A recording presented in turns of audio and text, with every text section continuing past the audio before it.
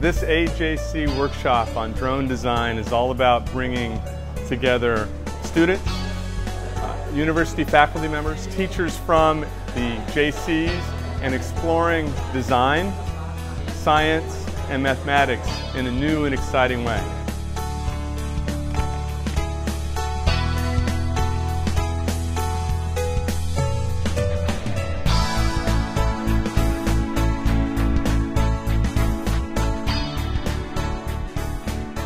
SUTD gives us a lot of opportunities to do a lot of our self-design and building of prototypes as well because of the amount, the vast amount of facilities that we have here. For example, the Fab Lab. Uh, we have 3D printers around that we can print our own frames. We have CNC routers that we can use to cut out more complicated shapes that we need to.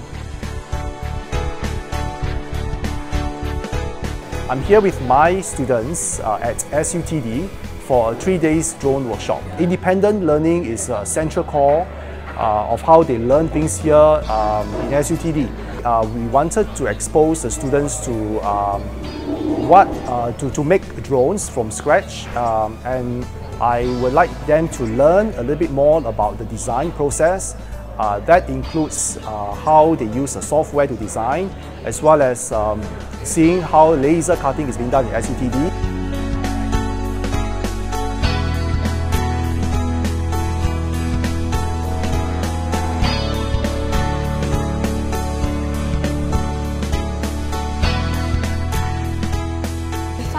I really like about this drone workshop is how they categorize it into three different sections like design, build and fly. At SUTD, I realized that the classrooms are structured in such a way that there are actually projectors and whiteboards all around the classroom.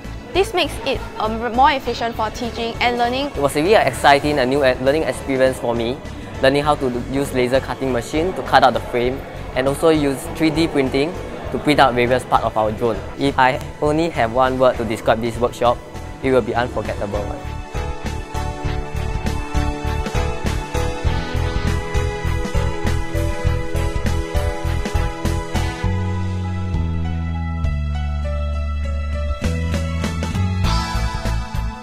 SUT usually focus on a hands-on learning experience such that you can actually grasp the concept more in a tangible way because you'll be better able to identify the mechanics as compared to when you just reference from the textbook. We hope to apply this in AJC and thus incorporate this kind of course into our CCA um, program. It's all about learning actively, embedding design for Singapore, but also embedding design for the future leaders and innovators of Singapore.